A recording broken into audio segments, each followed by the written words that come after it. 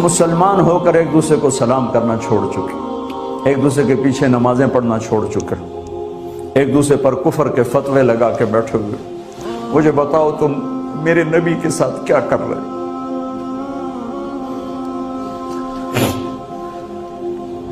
वो तुम्हें फिरकों में बांट कर गए थे या उम्मत बना कर गए थे?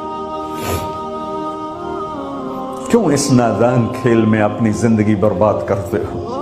क्यों नहीं मुसलमान बन के रहते हो?